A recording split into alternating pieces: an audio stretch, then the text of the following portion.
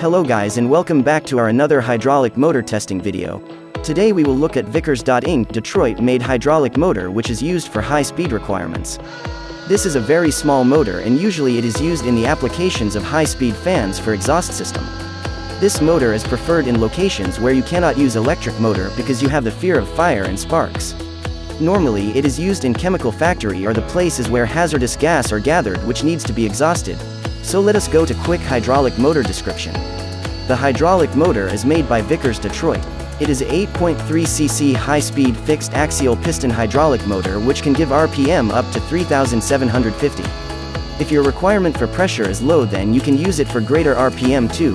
The flow for this hydraulic motor is 12.45 liters per 1500 RPM. The nominal pressure for this hydraulic motor is 120 bars and peak pressure is 200 bars. It is a spline shaft hydraulic motor and it doesn't have valves attached to it. We will genuinely increase the RPM and show you its speed from slow to fast. Please turn your volume up.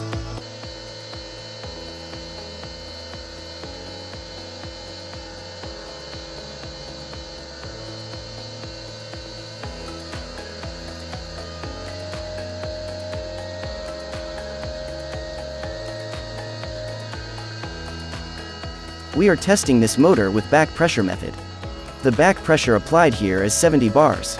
The condition of the hydraulic motor is very good and we have 25 plus piece available in stock.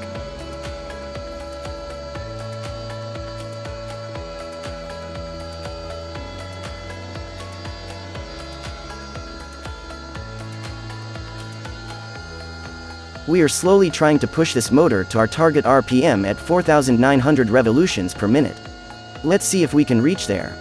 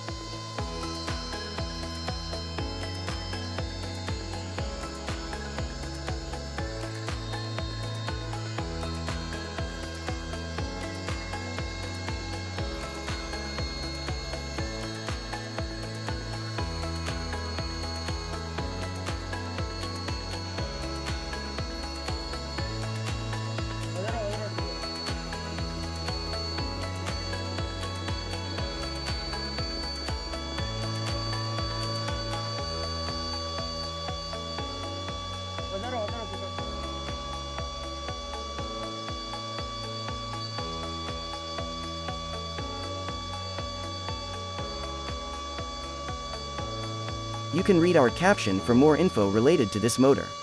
Thanks for watching.